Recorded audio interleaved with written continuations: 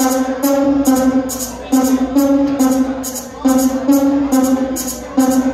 you.